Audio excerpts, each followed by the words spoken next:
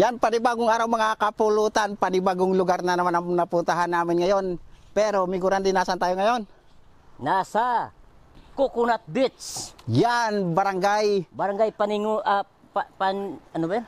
Panig Lungan. Panilungan, Burwanga, Aklan. Yes! So, napakagandang lugar po ito mga kapulutan. Napakaaliwalas, native ang tema dito.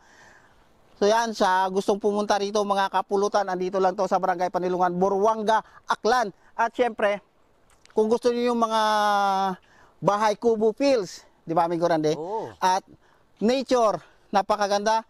Puti po yung buhangin dito, white beach po ito. At syempre,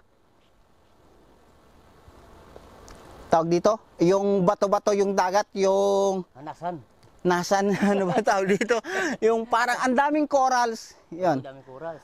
So, isang lugar na naman napuntahan natin ngayon mga kapulutan at isang bagsak dyan papakita namin sa inyo ni Migurande ang ganda ng Burwanga Aklan. Tirahin mo na. Bagsakan mo na. Pwede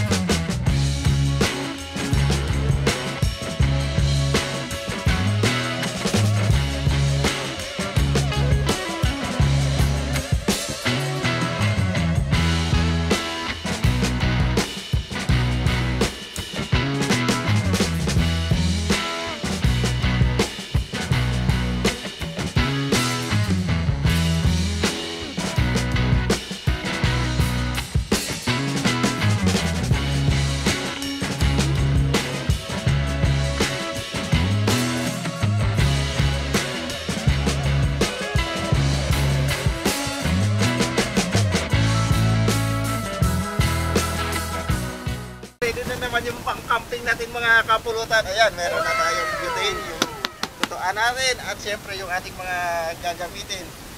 Virginia, baka naman. So, iluluto natin ngayon mga kapulutan ay hindi pala natin iluluto dahil iluluto to natin mamaya. Prepare lang natin dito sa ating munting kusina ang pork binabad ng kabanatuan. So, ang ginagawa ko, naglalagay lang ako ng kalamansi Lalagyan ko din yan ng madaming toyo. At lalamasin natin sa bawang. So, gagawin natin habang nagbabiyahe tayo, nakababad na siya. Oh, di ba? Masarap yung ganun.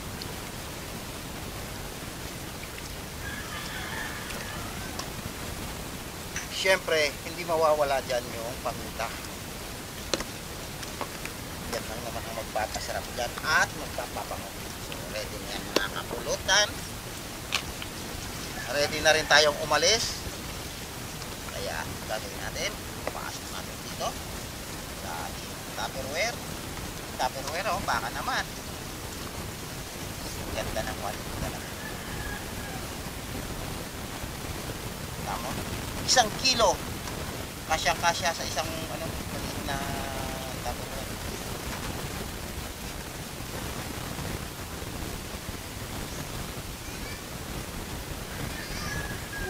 Masarap mamaya yan.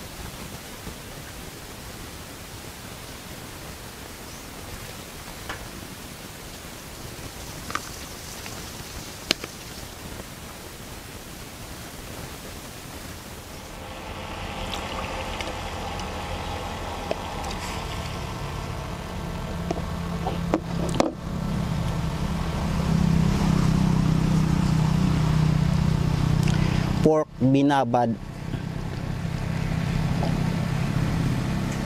ng kabanatuan.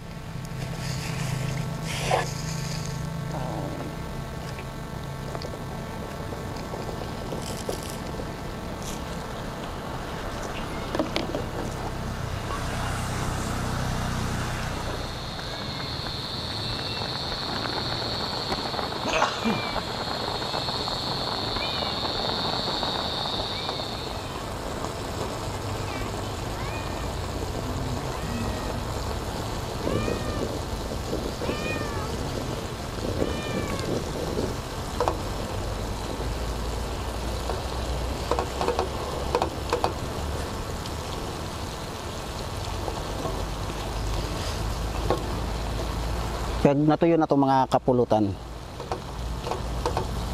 lalabas na yung mantika niyan. Yan yung ating pang piprito sa kanya.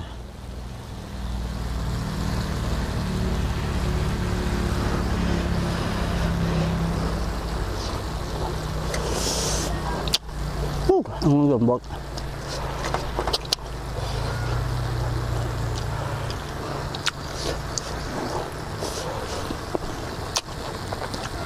At ang linamnam.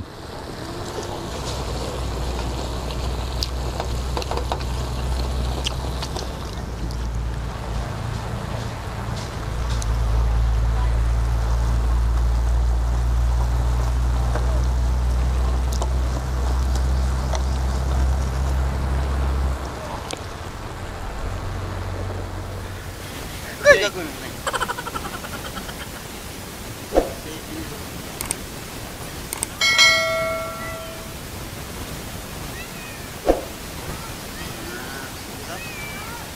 For binabat ng kabanatuan. Um, kabayan ko ang Kabanatuan. Diba? Diba siya, no?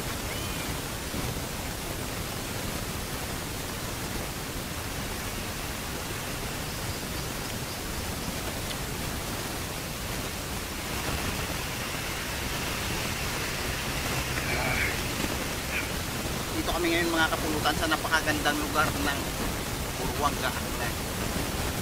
Shout out sa iyo. Dito kami sa may Kukunat Beach. Yan Panilungan, Murwangka, Aklan. Oy, shout out nga pala kay Tutoy Philip Jimen ah. Oo pala, Tutoy. Shout out po. Tutoy Imin. Yan sa. Purwanga ka. Ah, dito rin kami, Migo Totoy, sa Purwangka, sa may, may barangay Panilungan, Purwangka, Aklan. Yes, dito kami. Ganda talaga ang tanawin dito.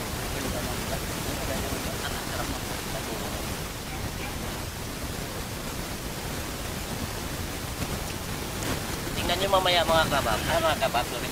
mga kapulutan. Yan o, maraming tao na mamulot ng mga seal. Yan o, kasi, kahit Mamaya, nakapagkita namin ni Master. Tagay muna tayo.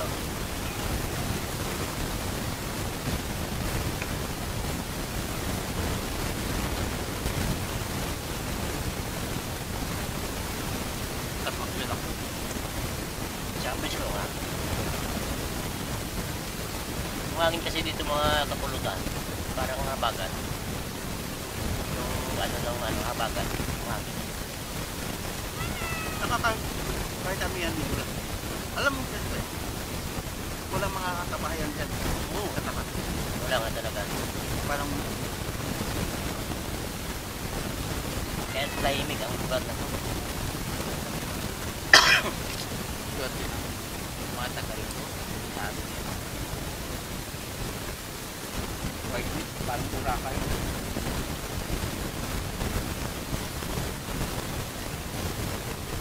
May pyramid. Ganda na lalagyan ng mga bis. Uh, ano ba yung ano? Pinupihan. Walang disturbo, walang ma- kapitbahay dito mga kapulutan. Walang may Walang maingay, ano? Walang oo. Ka- kung may videoke dito, na, walang reklamo. Malapit na kami sa Boracay. Isang bayan na lang. Nasa Boracay na kami.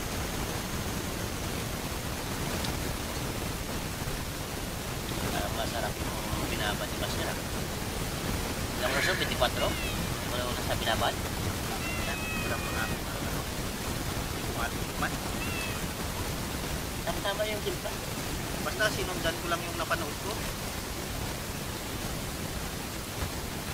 Hindi siya mga masyado. Tama-tama lang. Yung sa likod ng kamera, mga kapulutan naglalaway na. Tama din si ano. May kundog. Hindi daw titigas kasi saglit Parang- na natin pinakuluan to. eh. Parang ano, parang ibig sabihin ng mga kapulutan, tuto na siya sa, pag, sa pagbabad pa lang. na. pa lang, no? Eh, malambot. Saglit na, wala mang, wala nga 10 minutes eh. Tsaka bago kasi yung ano, yung gas na ano.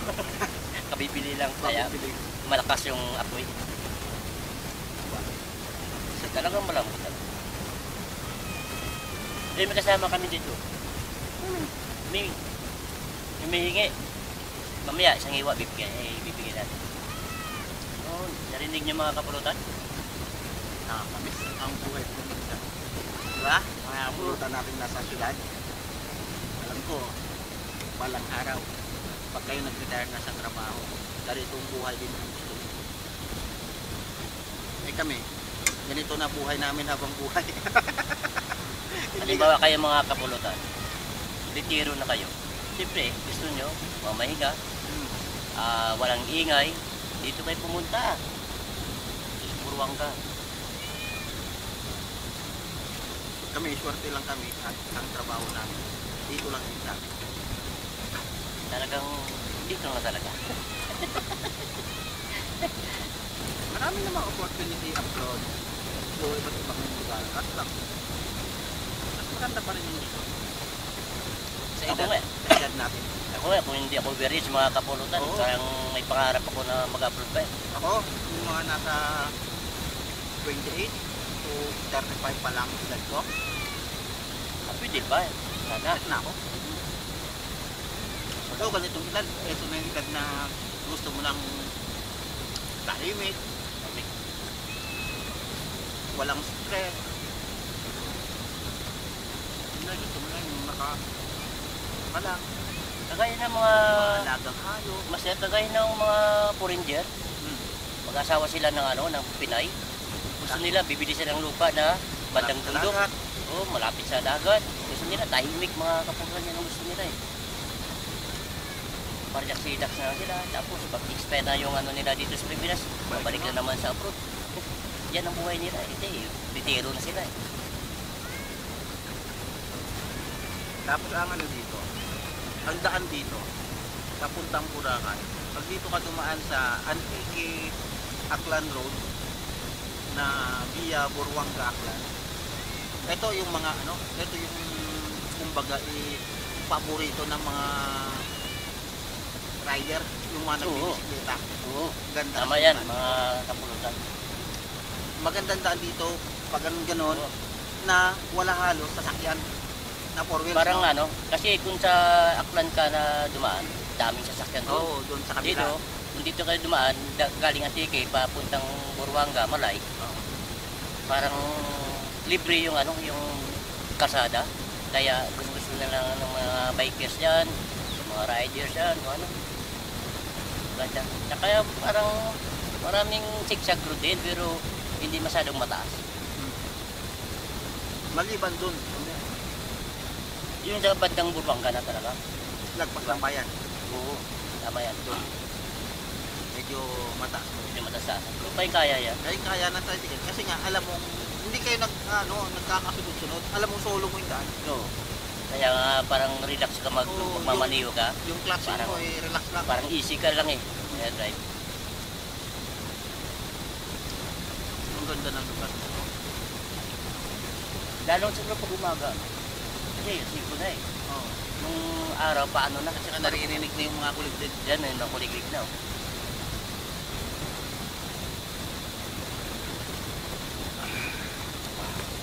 Lalong lalo ng mga kapulutan, nagmamali ka. Kung may sinagag na kanin to, Ang sarap pumapak. tamsak.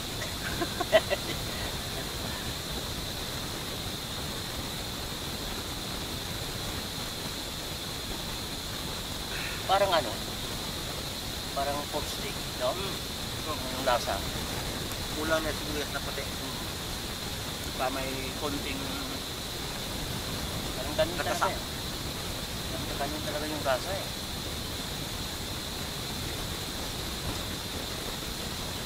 sarap ng luto ng mga ano, no? mga taga North, Pampanga, Nueva Ecija, Nueva Vizcaya, Isabel. mga taga Pampanga, yung uh, taga Ilocos, ang gagaling nila magluto. Ano rin talaga? Ang daming menu. Dami na marami silang natutunan sa pagluluto ng mga kapurutan. Grabe sila. Lahat na sikat ng pagkain niya sa kanila. Pinabraw. Ah, dinakdakan. Tama. papaitan. Ka, ano ba tawag ito? Ka, pansit batel patong. Yan, nila yun. Pansit kabagan. Pampanga naman, sisig. Buti hindi mga ubis ang tao doon. Hindi matataba. Pero meron naman, meron din doon na matatama, meron din mga ano, slim lang. Ang sa ano, likuran din sa Isabela. Sa Santiago City, ang pinakapabulo. Yung bangka. Yung manok na biniyak. Na dami. Ah, yung pitso lang na ano? Pitso lang? likod lang. Buo talaga? Likod lang. Ah, yung sa likod. Ang daming itlog. Ah, yung kal? Yung kat. Yung pabulo. Hindi ko makuha-kuha dito. May kaibigan ako. Tinuturuan ako kung paano magluto. Pagod lang ang dami. Hindi ko makuha. Parang naano ko yan ah, natikman ko yung nagluto kayo. Hmm, pero hindi ganun kasarap. Pero nasarapan ako noon sa pagluto mo. Nasarapan ako noon. Pero hindi pa, Hindi pa ganun. ganun ang original. Kaya tiktik nila. Hindi ganun ang original na original. Pero yun lang ang sinabi. Parang may semblance lang. ah, pati pati betchin. Tapos ano kasi yun yung ano nila, parang naka-layer-layer ba? Naka-layer. ang baka niyan.